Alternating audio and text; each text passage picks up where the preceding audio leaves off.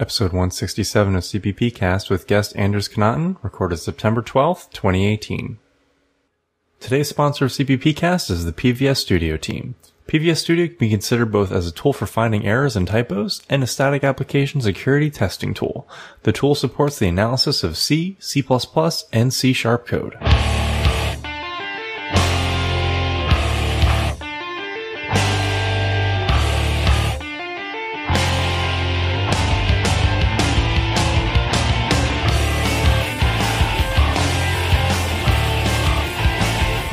Episode, we discuss the C++ Alliance announcement. Then we talk to Anders Knatten. Anders talks to us about cppquiz.org and more.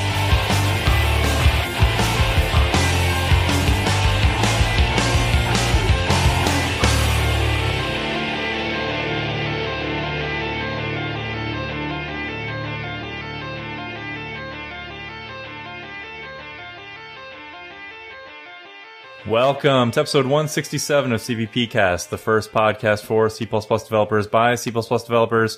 I'm your host Rob Irving, joined by my co-host Jason Turner. Jason, how you doing today?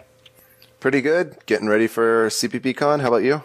Um, I'm doing okay. Uh, we do have a, a, pretty bad storm bearing down on us in the Carolinas, though. Uh, it's beautiful weather out today, but uh, it's supposed to be hitting tomorrow night, I believe. It's just some little tropical thing, right? Oh, it's a Cat 4. Cat yeah, 4 well, hurricane, you know. so it could be bad. Um, I, have been like tracking the weather uh, regularly on my phone, looking at the satellite, and you know they have the they call it the cone of uncertainty. Right. And and two days ago, the the center line of that cone was literally going right through my town.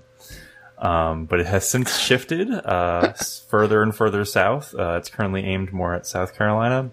Um, I think the whole coast is still going to get hurt pretty bad, and we'll probably still get some heavy rains and winds here. Um, and I think I am probably going to actually edit and publish this episode tonight instead of tomorrow in case I lose power. So, so when is it actually supposed to hit you? I believe it's supposed to start Thursday night into Friday. Okay. Something like you, that. What is the current forecast? I'm curious for how many, what the wind speed will be when it land, make, makes it to your area. I, I don't know what it'll that. be by the time it gets to our area, but I know it's got like 140 mile per hour winds right now. 140. Okay. Pretty bad. I, I, saw someone, one of the astronauts up on the ISS, shared a picture of the hurricane, and he had to use like a wide angle lens in order to see the entire hurricane from space. Wide angle lens from space. Yeah. So that's about 200 and something kilometers per hour for our non US listeners. Yeah. So yeah, anyway, if you're listening to this episode early on, on Thursday instead of Friday and you're wondering why, it's because I'm uh, worried about possibly losing power later this week. All right. Yeah. Well, good luck. Thank you. well, a tough episode like a piece of feedback. Uh, this week we got a tweet um, from Ahmad, and the tweet was actually written, I, I believe, in Arabic, but uh, Twitter has the lovely translate tweet button, which works pretty well and uh, he you know made this tweet about how he loves listening to technical podcasts and said that he's currently listening to the archive of CPP Cast and CPP Chat, and they're easing the burden of congestion. And I looked it up, and he's uh, from Kuwait. Wow. So yeah, we got listeners all over the place.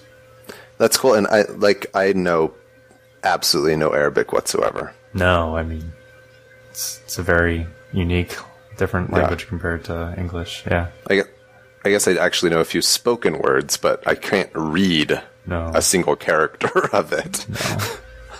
Neither can I. uh, we'd love to hear your thoughts about the show. You can always reach out to us on Facebook, Twitter, or email us at feedback at cppcast.com. And don't forget to leave us a review on iTunes. Joining us today is Anders Knatten. Anders is here as the author of cppquiz.org. He's been working as a programmer since 2001 in fields ranging from multi-phase flow simulation to web development. He's been doing everything from working on compilers to being CTO and has been using a wide variety of languages. C++ is closest to his heart, but he's been doing other things for the last five years. He's very happy to be back as a C++ developer from October 1st in his new job at Zivid Labs. Anders is also a father of two, and in his spare time, he's the producer and frontman of the future pop band Modulo One. Anders, welcome to the show. Thank you. Glad to be here. It sounds like there's a lot going on, but um, I, I, do yeah. want I want to ask So you say you're just now moving back into C++ development. How long has it been since you were doing C++ as professionally? Um, it's uh, I think it's actually yeah 2013. It's the summer of 2013. So which is actually years. yeah that's actually the same summer that I launched CPP Quiz. Uh, not knowing that I would depart from C++ professionally at that time, but uh, yeah, that's yeah. that's so. Is your move back into C++ directly related to your work on CPP Quiz?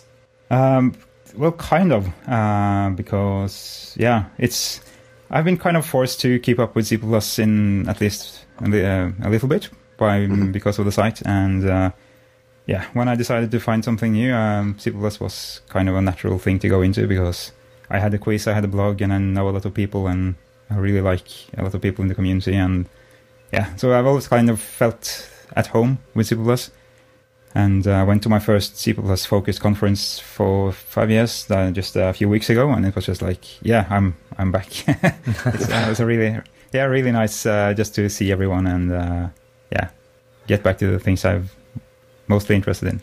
Yeah. I I would think that it would be hard after five years away to get another job using C++, but on the other hand, since you've stayed connected to the community for the last five years, that must have made it much easier. Uh, yeah, I think uh, yeah the the job I got was I had two two people I knew who knew people there, and so that kind of set up set that deal up. But also having still blogged a bit and having the CPP quiz uh, just made made it quite easy actually because I would say, hey, my name is Anders, I have this site and this blog and stuff, and I go, okay, we'll talk wow. to this guy. it's it's like one of those things where you have this privilege of actually having the time to do those kinds of things. Um, which make people notice you. So, yeah, I guess that that's uh, a good a good reason if we have any listeners who have been thinking about blogging or or starting a project and haven't yet. You should. yeah. Yeah, I mean, not not everyone are fortunate enough to have the time to actually do all of these things. Uh, right. But uh, yeah, this summer I interviewed with actually a lot of places uh, because I really wanted to find something really cool to work on, and I noticed it really helped to have something to refer to. So here's my quiz site, or here's my open source stuff, or here's my blog, or something like that. And also having worked with recruiting myself, uh, you tend to notice these things, I think. Hmm. But uh, it's, it's also an important bias to be aware of when you're recruiting people, because not everyone has the time and possibility to do all these things, but they yeah. can still be good programmers. So it's yeah, it's important to to be aware of. I think. Yeah, it's a good point. Yeah. But if you can, do it. Yeah. Definitely. Mm. Okay, well, Anders, we got a couple news articles to discuss. Uh, feel yeah. free to comment on any of these, then we'll start talking more about CPP quiz, okay? Yeah. And okay. it does seem that our news is a bit light lately. Yeah, I think that might just be kind of leading towards CPPCon. I'm sure there's going to be a lot of news afterwards. It's also just the end of the summer and schools are starting back up, so people might just be busy. Maybe not yeah, much news for those reasons. It is interesting to to, to ponder how many people might be holding news back because they're waiting until their yeah. talk at CPPCon or product announcement or something like that. Right. Well, anyway, this first announcement we have um, is C++ Alliance. And this is a, a, a new nonprofit organization that's going to be kind of just promoting C++. I, I'm surprised I haven't heard about this before. I, I imagine this maybe took a while to set up but um, apparently they're, they're going to be sponsoring C++ or CPPCon. Mm-hmm. Um, they are now sponsoring the Slack, the CPP Lang Slack, and they have staff engineers, including uh, Marshall Clow, who's been a guest on the show, and Damian Jarek. Uh, I'm not sure what exactly means to be a staff engineer. Like, are they actually employed by the charity? Like, that's their full time job? Uh, I, I'm I'm curious about that. I don't. I have no idea. And Marshall works on several open source projects, Boost related things, so I could totally see him being funded full time to work on things. But I, I, have no idea. I, I, was kind of most curious about that, and it, yeah, I, it says he joined as a staff engineer, and it says previously he worked for Qualcomm. So is he really leaving Qualcomm for C++ Alliance? I, I, want to find out that. Oh, uh, yeah, I don't know. Yeah. Um, but yeah, it, it sounds pretty exciting. Um, this new charitable group working to empower the C++ community. So, I mean, the, the main like news items here is that the C++ language Slack is funded now. Right. So Which, we we had a problem with history. Now we do not have a problem right, because there was a limit if you're using the free version of Slack of like what ten thousand messages be backed up or something like that. Something like that. that. And the rate that most messages were being uh, posted, it was basically any particular channel didn't have a history of more than something like about 36 hours. Oh, wow. Okay. Yeah, that's how quickly it was getting to the end of that. Um, oh, and, and I did notice on the news on their website that they are over a year old. So what have we really just been like under a rock or something? Like, how do we miss that if they've been a year old? I don't know. It's it's I don't know. Um, there was also a, a, Did you read the first comment from STL on the Reddit post? Uh, I did read through some of that. Um, he was kind of commenting on their a bit about their website and and things like that. So he uh, comments that there's a video reel that had been playing on the website that had snapshots of several C++ speakers. Uh huh that he says it creates an impression of association or endorsement, which doesn't seem to be proper if the speakers weren't asked for their approval. Right. So he was one of the people in that snapshot. I was apparently caught up in this also. I did not know that I was used on a video reel on their website. Not that you're necessarily offended by that, but yeah, it would be nice to know. Yeah, right? they have yeah. since taken down that video reel because oh, okay. of the uh, the minor controversies surrounding it. Well, we'll have to talk more to some people involved in this to get a little more detail about it. Uh, Jon Kalb was a board member, so was Vinnie Falco and uh, Rene Rivera. Yeah, and Jens Weller is involved as well. Yep. Yeah, well, I, am definitely curious about this. I want to get some more info. Um, Anders, did you hear about this before, like this week? Uh, no. Uh, yeah, so I don't really know any much uh, more than what you do. Okay. Yeah, would have been hilarious. It's good, no, sorry, it's good that yeah, it's just it's good that the that the Slack is funded, so we get the history. Uh, otherwise, I don't really know anything. Right. Hmm. Okay. Uh, sorry, sorry that I interrupted you there. no worries. Uh, and the next thing we have to discuss is uh, CMake RC, which is a standalone CMake based C++ resource compiler. Yes. And I think we talked about resource compiling a bit um, oh, I just forgot our guest name. Um, but when we were, oh, JeanHeyd, we were talking yes. about him with, uh, talking about std::embed with him. And that seems to be kind of in the same vein as what this CMake RC is trying to accomplish. Well, I mean, resource comp- uh, you're a Windows developer. Resource compilers yeah. are a normal thing. Yeah. Right. Um, I think that um, there's a slightly different thing here because it would be like a constexpr, like embed kind of keyword added in C++ if John oh, sure. proposal goes through, or a yeah. constexpr function of some sort. But same, yeah, basic kind of concepts. I, I looked through all this and I'm like, I think I'm going to start using this in about two days on the project that I'm currently working on. Nice.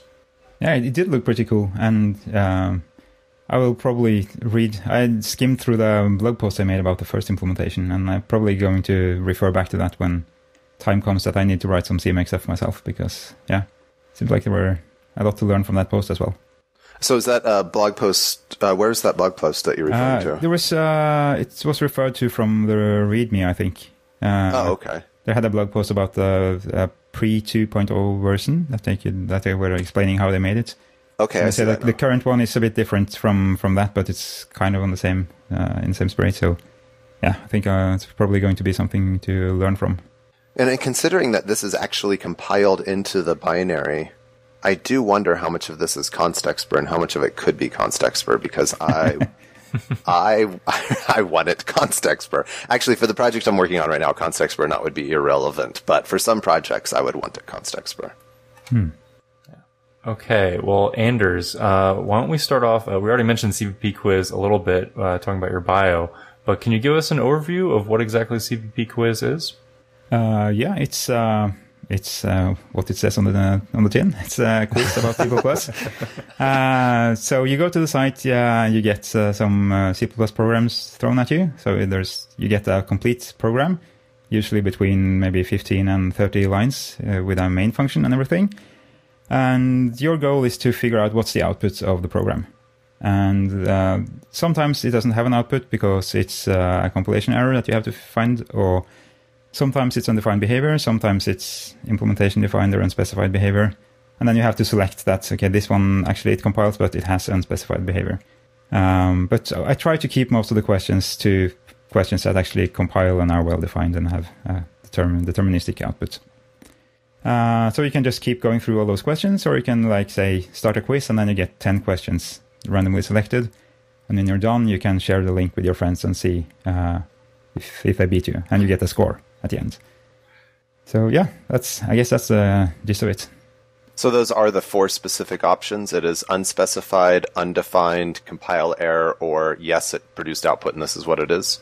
Yeah, you select those from a dropdown, and then you have to f- to fill out the output in a little text box. So it's usually like the output is usually just like one or two or three characters uh, based on which overload was selected or uh, how many times the copy constructor was called or yeah, okay. stuff like that. So the, the output is typically A or one two three or AAB or something like that based based on what happens in the program. So it's yeah, it's it's, it's a simple format but not very easy. always. Yeah.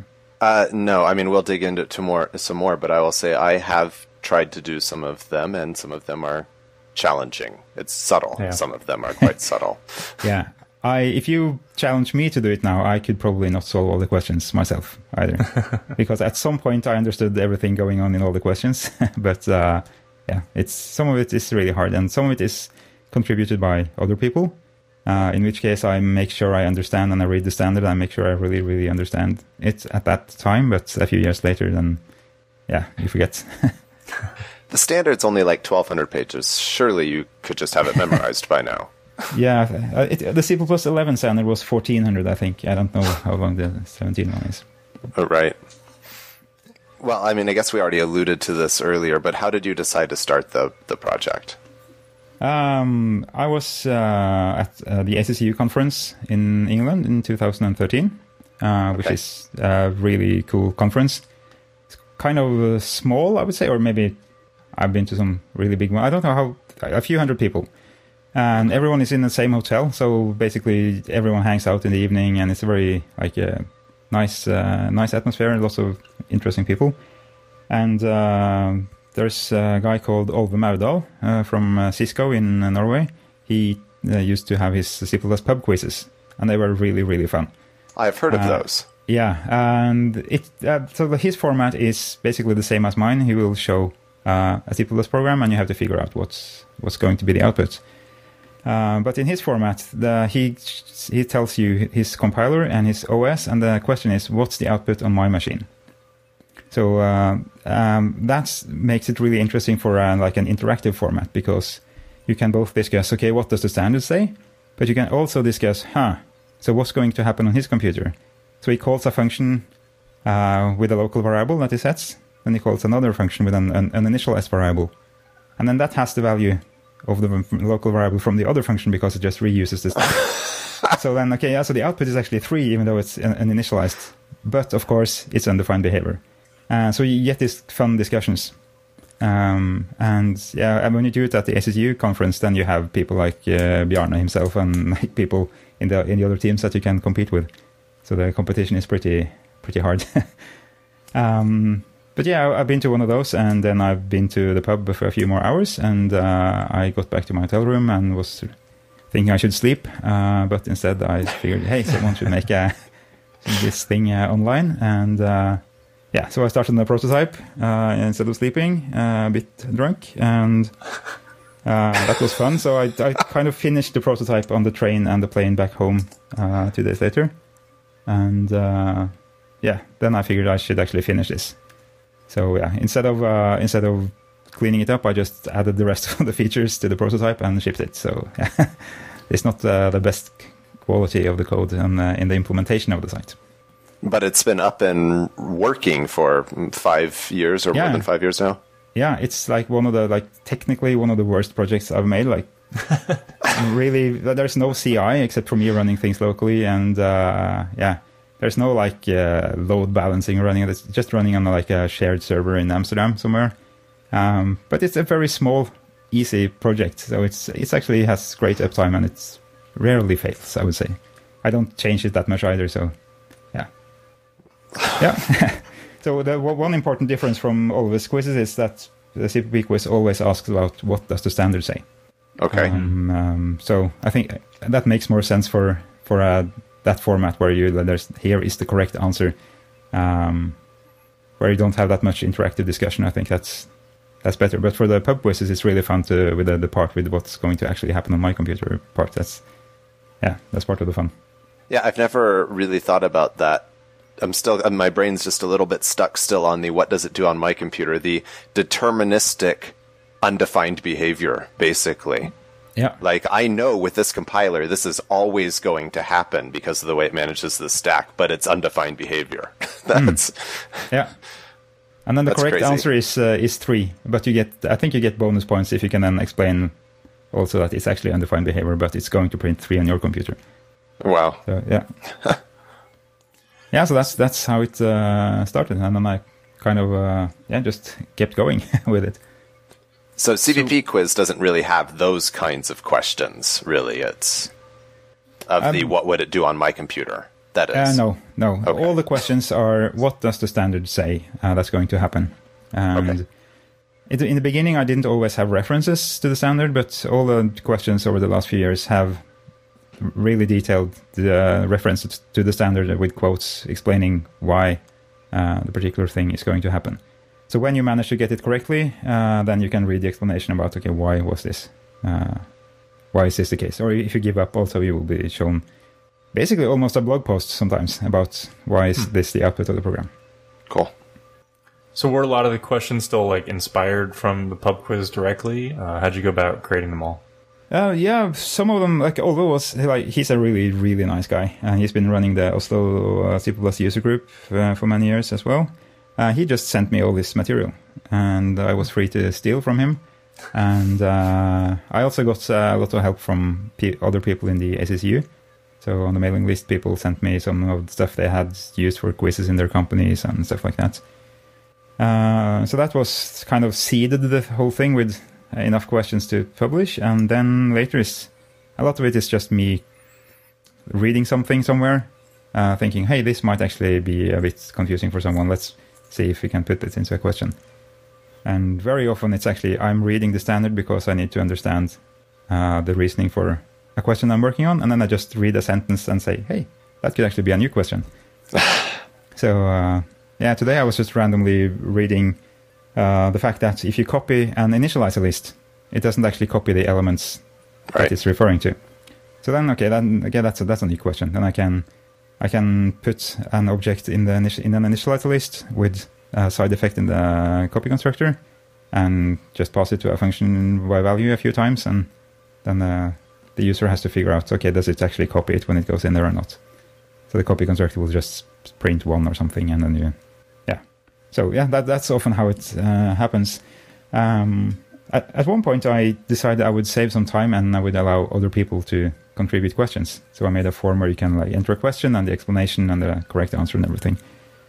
Uh, the problem is, of course, that people then submit questions about things I don't know, uh, and I have to understand everything in that question completely. With like, how does the ref- the standard actually uh, say that this is actually the the only uh, behavior that's uh, allowed.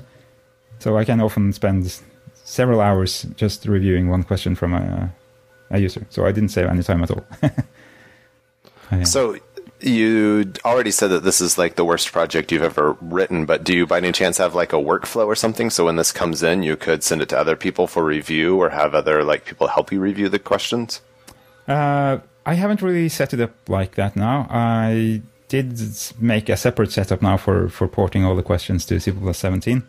Uh, but other than that, it's just a web form and it goes into the database, and I'm the only administrator. Uh, okay.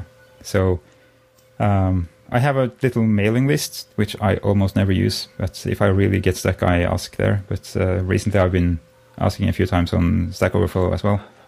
And I always get this language lawyer tag applied to all my questions. I'm not sure if it's an insult or if it's uh, if it's just informative. But uh, yeah, that, that's how it goes. So what yeah, if? Oh, sorry. Yeah, yeah. Go ahead. Uh, I was going to say, what if someone finds a bug in one of your questions?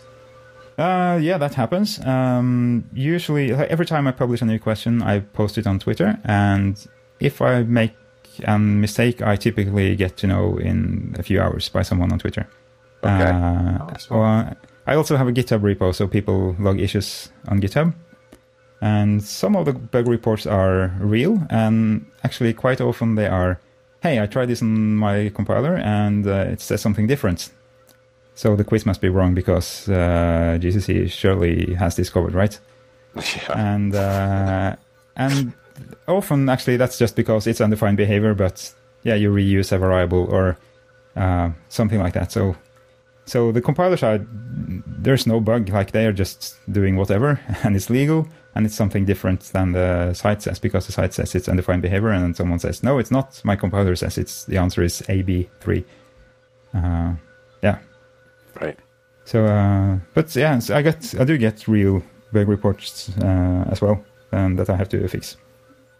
And uh, yeah, sometimes actually uh, bug reports to the quiz end up as bug reports for Clang or GCC. Mm. There's uh, there's one question that I've had multiple bug reports about, and I think the I think Clang and CPP quiz are correct, and GCC is wrong. But there's a bug uh, for GCC saying that Clang is correct, and there's also a bug on Clang saying that GCC is correct, and they're they're both open. Uh, but I'm, I'm, pretty sure Clang uh, is is correct. But it's it's about a corner case, I think. So it's not very important. In my experience in the corner cases, if Clang produces one output different from GCC, Clang is more likely to be the correct one. But yeah, yeah, it's usually things that don't affect real code. Yeah, it's like this is using a decltype on uh, a variable inside of a lambda. Ah. Uh, and the, var- the variable is actually not captured by the lambda. Uh, so it's not ODR used inside the lambda, and then it shouldn't be captured. But there's a specific little clause somewhere saying that if you put decltype, decal type on something that was captured, uh, but isn't ODR used, it should be as if it still was ODR used. So it's like, hmm yeah, the decltype has wrong const, so it's not like uh, it's not the end of the world, I would say. But it's if you want, to, I think it's uh, question 127 if you want to uh, to look at it later.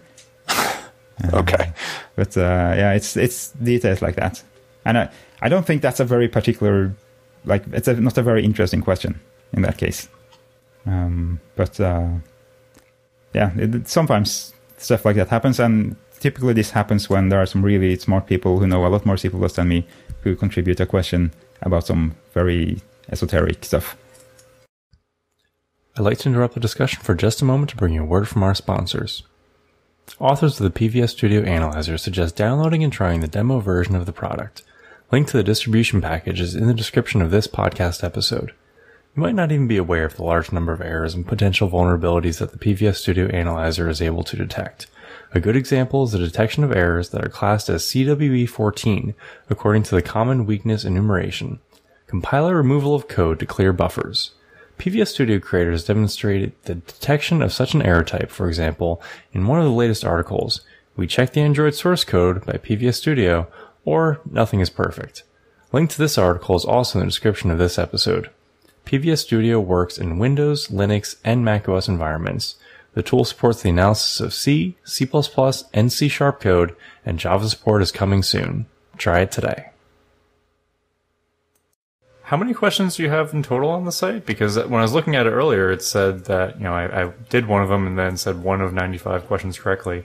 But you're saying there's at least 127. How, how many uh, Yeah, no, there are 95 published questions. Uh, oh, 95 published ones, okay. Yeah, so 127, that's including some spam I got before I set up uh, spam protection and some questions okay. that I refused. Uh, people often, um, sometimes they contribute questions where the answer is just wrong, where they rely on ints always being 32 bits, or yeah, rely on alignment and padding always being in a certain way because that's how they got it on their machine. And um, yeah, so there's some of that, some spam, and yeah, and also some I've just uh, retracted later because they were unclear or stuff like that. So 95 published questions. I think I have 10 in the pipeline that I have reviewed but not published yet, and probably I quite quite a lot of half finished questions from myself.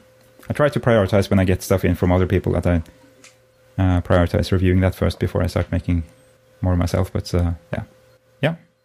So, how much do you think the questions tend towards the esoteric corner cases, and how much do they tend towards practical, useful knowledge for C developers? Way too much towards esoteric. okay. Uh, and I think that's often because people find that, like, people who decide they're going to contribute to CPP quiz, those are a certain kind of people, I think, who are very interested in esoteric things about C++. Like your normal C++ developer wouldn't probably uh, contribute questions to that site. So I think I, I kind of get a bias of who is actually going to contribute.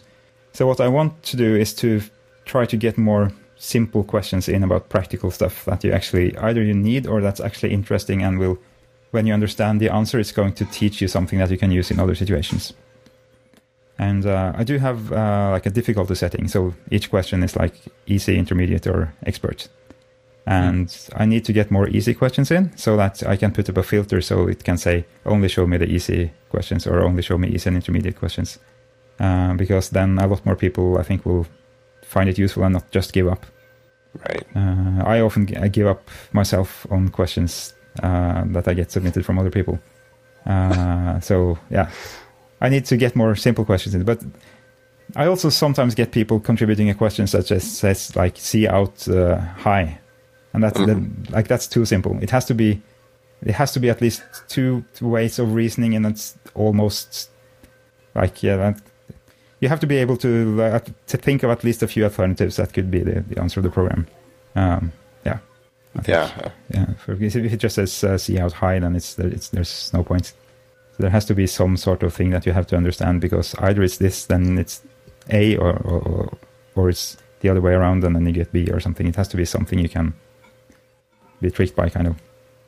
But it can be it can be much simpler things than which which uh, function is going to be found by a template when it's not hasn't been instantiated yet, but it's dependent on some other template. That's like yeah yeah yeah. A lot of the questions are like that, and it's, it's just too hard for for people who don't actually actually implement compilers. I think, right. including including me. Uh, I don't implement compilers, and I don't understand their questions either.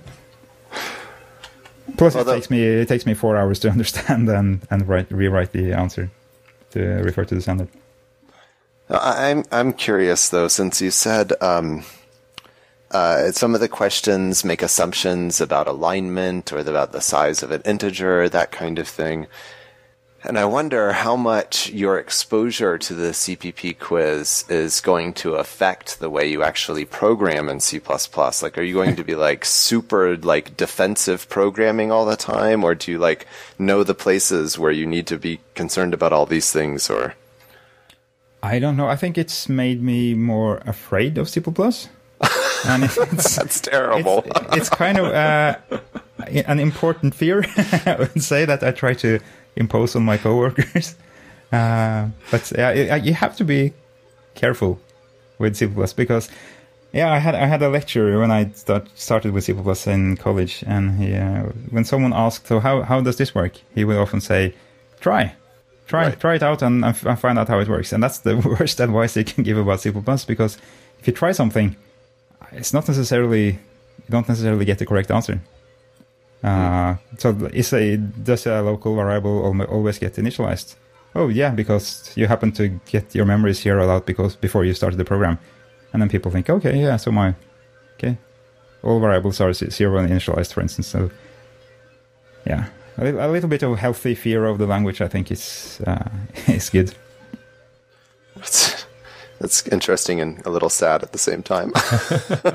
yeah, I, I've been thinking like I've been writing a few other languages, and people have said you should make one for C sharp or for Python or something. And I don't think there are many languages that would be so easy to to make that kind of quiz for, because I don't think I can't think of at least any other language that's so complex and so full of undefined behavior and complex corner cases and weird stuff. Mm. Uh, yeah. I, have seen some of those like uh, posts online, like programmer humor, like what does JavaScript do here? You know, yeah. things like yeah, well, yeah, one yeah. equal equal, you know, quotes around one, things like that. You, yeah. you could make some fun ones with JavaScript. Yeah, the the the Wat uh, talk by Gary Bernhardt. For, uh, yes, yeah. is great. That's a classic. Yeah. yeah, so there are there are things in other languages as well, but C++ is just so huge and so yeah. strange. Yeah. Yeah. What? So, uh, oh, go ahead. Well, I was just going to say, if our listeners aren't familiar with the talk we're talking about, uh, I, I, what's his name again? Who, who did that JavaScript Wat talk? Uh, Gary Bernhardt. Okay. Um, and it's, uh, if I recall, like a lightning talk. It's only like 10 minutes long or something. Yeah. Yeah, it's, go it's watch it. Destroy All Software is his, uh, his uh, vlog kind of thing. Okay. So, yeah, if you, if you search for Destroy All Software and uh, WAT, W-A-T, then you'll probably find it. It is, it is a very, very entertaining, well done lightning talk. Yes, it's one of the most entertaining ones I've seen. Yeah. Sorry, go ahead, Rob. I was going to put a link to that one in the show notes. Um, I was just going to say, so you've been running the site for about five years now. Uh, do you have a Patreon or anything to help you with uh, website hosting fees? Uh, no. Uh, I maybe I should. Uh, I uh, like yeah. When I a few months ago, I figured out I'm going to go back into C++. I started uh, watching C++ Weekly, and I noticed mm. the Patreon thing was going there, and I might try to do something similar. It's not very expensive, so since it's a, it's just a shared server in Amsterdam, it's not like a big cloud data center uh, thing. Uh, so, uh, but still, it, it would be helpful to yeah for hosting fees and maybe to help like with buying new versions of the standard and yeah some other costs. So it's interesting that it's a shared hosted server in Amsterdam. You've said that a couple times. Is it just, you know, so controversial you needed to put it into a neutral country or something like that? no, it's, uh, it's because that's their Europe data center. Uh, so I, am using uh, someone called WebFaction. Okay. And I would just say they are great. I mean, they, they have, they have really great support. Uh, so, yeah. I have no idea if they're cheap or expensive or anything. I set it up five years ago and I haven't really compared to anyone else since then. Right. Every time I have a question, I send them an email and uh, they fix it in like 20 minutes on a Sunday, uh, and uh, it's really great support. So I yeah, really recommend WebFaction if you need similar stuff like this. That's cool. Have you had any problems with like when you get like posted on Reddit or anything like uh, server performance degrading or anything like that? Uh, no. Um, That's cool yeah, I well, it, the site is very lightweight, and uh, the other thing is that people don't click around a lot. I mean, you click on a question, and then you look at that one for five minutes, and before you click the next link. That's true. Uh, right. So I don't remember the numbers, but I looked at my. I have some Google Analytics stuff, and I like the average visitor time is like 12 minutes or something, and that's including everyone who just clicks away. So most people they stay there for a really long time and they don't click that many links. like an hour writing out the thing, trying it on uh, Compiler Explorer, trying to figure out what it's doing. yeah, yeah. No, it's yeah. I haven't any had any issues with that, but I, I don't think I've gotten like that huge amount of traffic either. So you recently announced that uh, you're putting on an effort to try to get all the questions updated to C++ 17. Is that right? Yeah, uh, so everything has been C++ 11, and all the questions have typically from one to five references to the standard. So I figured at some point I need to start targeting C++ 17, and some of the answers might actually have changed. Uh, uh, one of the more esoteric questions was about was about the trigraphs, for instance. So that one just mm. had to be uh, be changed completely, and all the other ones had to update section numbers and quotes and all of that. And the, the big part for me was I was thinking I might spend months doing this because I don't know which of the questions actually now are have a different answer than they had back in the day. So I basically would have to re-review all the questions. uh, so when I uh, knew I was going to be on CppCast, I thought, hey, I have to prepare a way for the community to help, so I can ask people for help uh, while I'm here. Uh, but instead of doing that, I will say that everything is now ported to C++ 17 because within a few hours, people started uh, contributing. Wow. And uh, Simon Brand, who was here a few weeks ago, he ported mm-hmm. some questions. And uh, Niklas Lesser from Germany, he ported uh, like 90 questions over the weekend. Oh, wow. 90? So yeah, that was it. Yeah. Uh, it was. I was thinking I would spend months, but it took four days because uh, mostly of Niklas Lesser and also Simon Brand and I I had time to port maybe seven questions myself before they were just finished with everything. so I was just uh, amazed by the yeah the effort. Yeah, that's a great community effort. Yeah. Well, so uh, one of the things that I really appreciate about CPP reference is how you can see whether something was uh, pre C++ 11, 11, 14, 17, 20, whatever that's tagged on there. Have you considered leaving around the C++ 11 versions of the question so that the you know, if someone is on C++ 11 in their actual daily work, they could say, I want to see the C++ 11 version and then show me how it's changed or something like that. And that would actually be fun.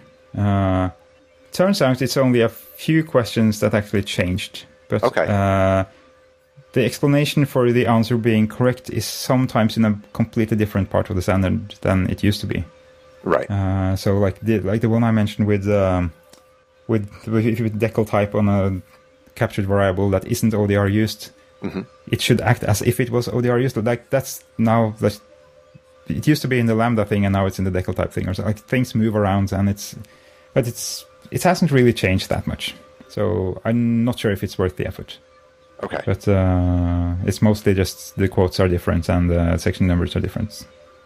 Uh, we also had someone suggest we could just leave the questions for C 11 and then use C plus for the 17 for the new questions. And then it says like this question is for 11, this one is for 17. Uh, but I think that would be more confusing. So it was better to make the effort and port everything and especially when uh, Nicholas and Simon did all the work. It was, yeah, it was very much. Uh, I think I I spent more time preparing for setting it up for the community to help them. Actually, I spent doing any of the actual work myself. So most of the time uh, that I put into it was just uh, making scripts to export everything to a Git repo so that people could make pull requests and writing readmes and making sure that everything was easy for contributors and it looks like that paid off at least. It's great. Uh, do you have any plans to update the site now that everything's in C++ 17? Um, just yeah, publish more questions. Try to get more questions that are simple, not not like entirely trivial, but simpler, so that we can have some filtering. So it's easier for people who aren't compiler implementers to actually get more questions right uh, because I think it's too hard for most people. Uh, mm. So I think that's uh, the main plan. Um, yeah, the, the Patreon suggestion you had, uh, I might do that, and uh, also maybe trying to find some way to have other moderators than only myself.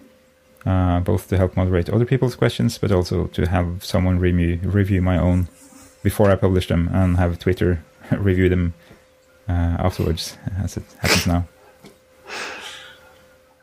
I have a, a feature suggestion. Uh, yeah. Maybe have a way to open up Compiler Explorer from CPP Quiz to like see the answer kind of work in a compiler.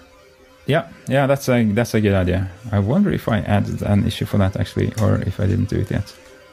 Uh, if not, I'll I'll do that later. Just yeah, some way of going directly to. Uh, no, that was for my blog.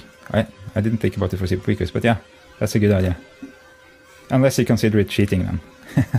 well, you could do it when, once you've answered the right answer, or yeah. say you give up. Yeah. Or well, one thing we haven't discussed is you actually have hint levels, right? Uh, yes.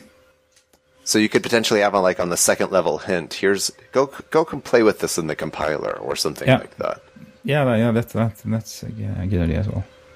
Actually, writing the hints is one of the most difficult things because it's not that often it's not very there's not a lot of things going on it's, i try to always keep it to like there's one thing going on in each question so there might be some like surrounding stuff but there's, it, there's every question is supposed to only ask about one one specific thing and it's really hard to give a hint many many times about the thing without giving it away right. Um, yeah so at this point do you have reasonable hints for all the questions yeah, all questions have hints, and I, th- I think okay. they're pretty pretty okay. Uh, yeah, but often when I get contributors con- contributing questions, they say they fill in for the hint field. They just say, "Sorry, I couldn't think of a hint," and I and I completely understand because it's it can be hard to to uh, to, to give a hint without giving everything away.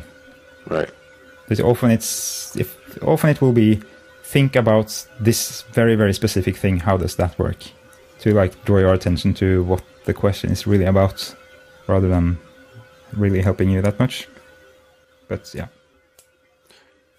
Do you have any favorite question, either user contributed or one you came up with on your own?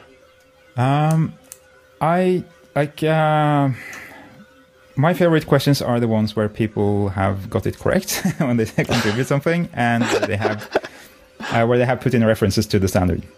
Because often it's like here's an explanation of what's going on, and I have to figure out is that actually what's going on, or is it what they think is going on?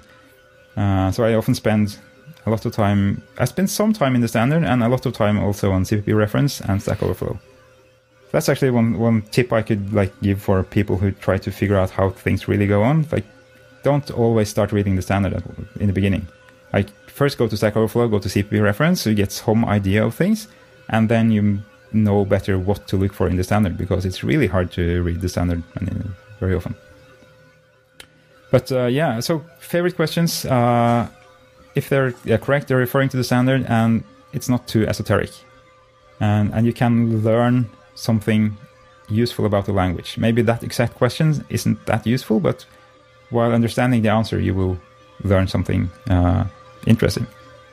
So uh, one that I recently got in was uh, about um, it's question 217, uh, and it's it's about the conditional operator. So if you have an uh, if you have an int i, and then you have a conditional operator saying if uh, if i is larger than zero, the result is i, otherwise it's one. So the result can, can either be i itself or it can be an, uh, a literal. Okay. And then you bind a reference to the result of the conditional operator. Okay. So, yeah. So we have a reference that either is bound to i itself or to a literal. And then the question is, is that reference actually bound to i when i is the result of the conditional uh, uh, operator? And the, thing to because then you get to think about like, okay, does it need to make a temporary? And you get like you can talk a bit about uh, like the difference between a reference and a value, and uh, because uh, the thing is that the, the, conditional operator either returns i itself or a literal, so you can't actually refer, you can't return a reference because if it is the literal that's the answer, then that literal will go out to scope, so you can't bind a reference to that. But you can bind a reference, a const reference to a literal. Uh, yeah, but but you have to return something from the conditional expression itself, and that in this case has to be actually a prvalue and not. Okay. Yeah, so it, it's a bit hard to explain code without looking at code, I think, but. Uh, uh, yeah. it's it's a it's a very very simple question. It's there are four lines in main and that's it, and you get to think a little bit about like yeah types and what can you bind references to and not, and uh, yeah, it's a const reference you bind, but uh, yeah, you have to make a prvalue. It's sort of like also uh, the post and pre increment operators, where one of them has to make a copy because it has to actually be able to return the value as it was before you incremented, and things like that. That it seems like a corner case, but it gets you thinking a bit about how does the language actually work. Right. Um, yeah, so I like I like those. Well, you, you recently blogged about one involving virtual destructors that caught my attention. Yeah. Uh, I guess recently. Yeah, well, back in March, so six months ago. Um, it, well, it it I guess I got the answer wrong when I was started reading your blog. I'm like, oh, of course I know the answer to that. So, would you mind um, describing this particular one to your uh, to the listeners? Uh, yeah, uh, I'll just bring the code up here. Uh, so the, the thing is, uh, if you uh, if you have a base class and a derived class, and you de- delete, so you have an instance of the derived class, and then you mm-hmm. delete it through a pointer to the base class, uh, and you don't have a virtual destructor, what happens? So the so what the, the the person who submitted the question said that okay if you if you delete a derived class by a pointer to the base class and the destructor isn't virtual it's only going to destroy the base part of the object and not the derived part right. And i think that's probably what everyone is going to see their compiler doing. But actually it's undefined behavior. Uh, so it's hmm. undefined behavior to delete a derived class through a base class pointer if the destructor isn't virtual. Um, and uh, yeah, so the, the person who submitted the question said it's going to do, only call the destructor for the base class object, and I thought, yeah, that makes sense. Yeah. Uh, but then I thought, okay, I have to I have to check. So I had went to the standard and read, and I found, hey, it says right there, uh, it's undefined behavior. Yeah, I did not realize that was undefined behavior. Yeah. I thought it was defined that it would just delete the base part. Yeah. It says uh, if the static type of the object to be deleted is different from its dynamic type, the static type shall be a base class of the dynamic type, uh, and the static type shall have a virtual destructor, or the behavior is undefined. And as far as I know, no compiler will warn on that unless you have some other virtual function to create a vtable in the first place, and then it'll warn that you didn't provide a virtual destructor. Yeah. Mm. Yeah, I I don't I don't know actually, but uh, yeah, it's it's a very good example of of a thing that sounds just it sounds right, and it's not. so yeah, that's that's why uh, this one was interesting. I think. And if I recall, your comment in your blog posting made a lot of sense. Like, how can we reason about an object that wasn't properly destroyed? Yeah. So, so if, it, if you if you say that okay, this is actually well defined behavior. If you delete it without a virtual destructor, it will only destroy the base part of the object. How can you do that without leaving a lot of other stuff undefined? So what happens with the stuff in the derived class? What happens to the memory? What happens to their destructors? Uh, what happens uh, like that should go out of scope. What what happens with uh, RAII things you try to do in that class. And so I think you could you could say that okay that's defined but after that then it's undefined. Something something more undefined is going to happen for sure. But the thing of course with the UB is that if it ha- if it happens at one point then the entire execution of your program is is undefined so if your program is running for two hours and then you get to undefined behavior, then everything up to that was actually undefined behavior. Right. Uh, so it wouldn't really make sense to to try to define this scenario. And uh, yeah, uh, that's one of the scary things about C++ as well. That's like if everything is fine up until a point, and then then it's not fine, then by definition everything up until that was not fine either. And that's of course to be able to allow the compiler to do crazy optimizations. Uh, but it's yeah, it's, scary stuff. yeah. yeah, the standard makes no guarantee about uh, the result of the program, including things that preceded the undefined behavior. Something yeah. like that is the wording. Yeah. Yeah. Yeah. So that's that's why I don't think it would make sense to try to define this at all. Right. Right. Okay. Well, is there anything else you wanted to go over before we let you go, Anders? Um, well, uh, yeah, actually, one thing I would uh, would say is that uh, since I've now been looking for a job in Oslo uh, for a few months, I would just say if you need an interesting C++ job, Oslo is great. I went to so many really cool places, people making really really fancy stuff. Uh, I was really surprised about how much cool is going on in Oslo. Uh, so yeah, we have Cisco making all their video conferencing stuff in Oslo.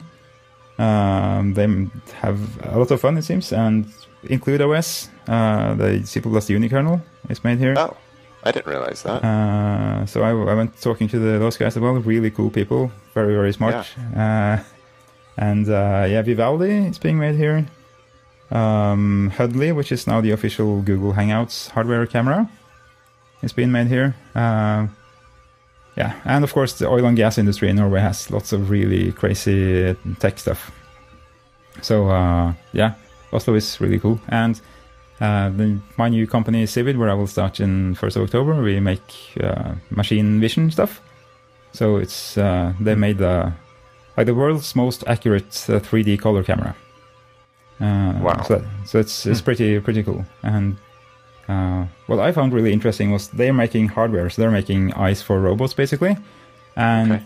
so they made like the best hardware, and they said that's only half of what will get us to uh, to be be the best. The other half is equally important. It's having the best API, mm. and I think that's kind of rare for a hardware company to say that the API is going to be just as important as the hardware to give us a business advantage, and uh, that was really one of the things that really sold me about that company. Like it seems like a very interesting focus to have.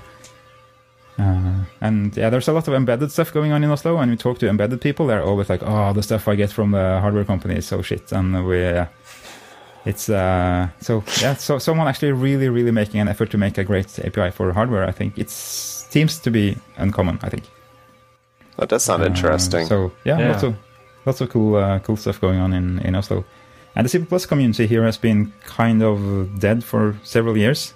but uh, Patricia, uh, uh, that we talked about earlier, she's really mm-hmm. bringing it back up again, and I plan to uh, to help out with that as well. And I think we're going to see see the, um, the community in Oslo be a lot more active going forward. Awesome. That's yeah. yeah. Uh, and are you planning to attend any of the upcoming conferences we've talked about? Uh, no, I currently I uh, I don't have a job because my new job right. doesn't start until in a few weeks. Right. So, uh, yeah, my previous job wasn't in C++, so I've been like uh, away from everything. But I hope to go to more conferences, and I gave a talk uh, uh, at the little NDC Tech Town conference, or little. It was a few hundred, few hundred people a few weeks ago. But uh, yeah, I, I definitely hope to go to one of the bigger ones soon. I guess on that mm-hmm. note, we should mention that you are running out of time very quickly to buy tickets to Pacific++ also, which is coming up here in October. And as we all know, CppCon is coming up at the end of September, one week yep. after this airs, basically. Mm. Yep. Would it be okay to uh, to say that we're hiring at Zivid? Sure, sure. Why not? Yeah. You already did. Uh, yeah. so, yeah, if you if you if you're good with C++ or if you are good with machine vision, uh, or uh, we also need people with uh, machine learning and AI stuff. So it seems like a really cool place to work. I haven't started there, so I can't make any guarantees, but it sounds, right. sounds great. A lot of cool, uh, cool uh, people. And also SYCL, that you had an episode about a few weeks ago with Simon Brand. Yes. Mm-hmm. if, if anyone knows SYCL or want to learn it, uh, we, we're having some efforts in that direction as well. So, yeah. Awesome. Very cool, yeah. Okay, well, uh, I'm very glad that you're getting back to be a full-time C++ developer again, and it's been great having you on the show today. Yeah, it's really fun to be here. I'm just so glad to be back with C++, like with the community and uh, everything. It's uh, yeah, I really, just really feel like I'm back in the right place. Oh, welcome back. Thank you. Yeah. Thanks so much for listening in as we chat about C++. We'd love to hear what you think of the podcast. Please let us know if we're discussing the stuff you're interested in, or if you have a suggestion for a topic, we'd love to hear about that too. You can email all your thoughts to feedback at cppcast.com. We'd also appreciate if you can like CPPcast on Facebook and follow CPPcast on Twitter. You can also follow me at Rob W. Irving and Jason at Lefticus on Twitter. We'd also like to thank all our patrons who help support the show through Patreon. If you'd like to support us on Patreon, you can do so at patreon.com slash cppcast. And of course, you can find all that info and the show notes on the podcast website at cppcast.com. Theme music for this episode was provided by podcastthemes.com. Site at cppcast.com. Theme music for this episode was provided by podcastthemes.com.